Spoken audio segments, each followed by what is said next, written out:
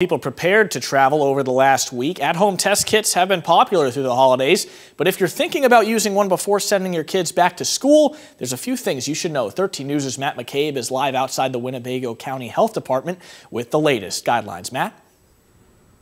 Yeah, hey Sam, those at-home test kits seem like a good idea, especially for parents in a rush after the holidays, but there are some things to know if you use them and depending on your results.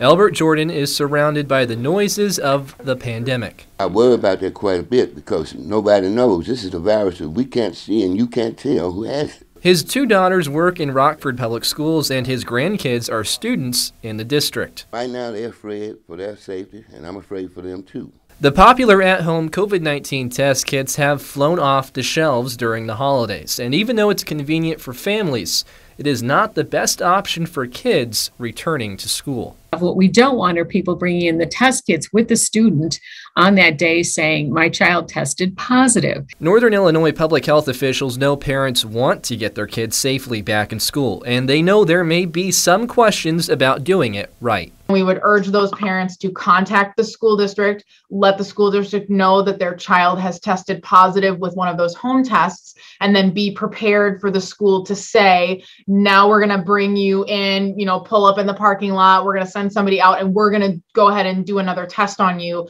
because it has to be counted through the school system. The holiday season proves the toughest lesson right now is keeping emerging cases of COVID 19 out of schools in the new year. And both county health departments say that anyone who tests positive with an at home COVID test should tell their local health department. They'll be able to tell you what you should do next. For now, reporting live in downtown Rockford, I'm Matt McCabe. Back to you. Thank you, Matt.